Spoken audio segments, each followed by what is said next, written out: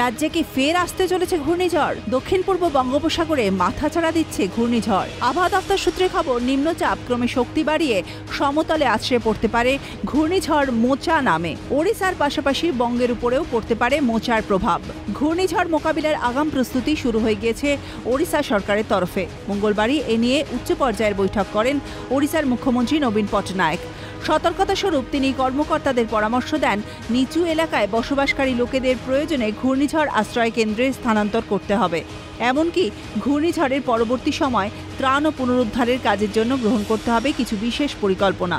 আগাম সতর্কতামূলক ব্যবস্থা হিসেবে মঙ্গলবার থেকেই কন্ট্রোল রুম খোলা হয়েছে ভুবনেশ্বরে। আবহাওয়া দফতর অনুসারে ছয়ই মের আশেপাশে তৈরি হতে পারে এই ঘূর্ণিঝড়। তবে ঘূর্ণিঝড়ের গঠন নিশ্চিত করা যায়নি এখনও অন্যদিকে, বঙ্গে ঘূর্ণিঝড়ের প্রভাব ঠিক কতটা পড়বে সে ব্যাপারে মেলেনি এখনও কোনো তথ্য। Bureau report Calcutta news.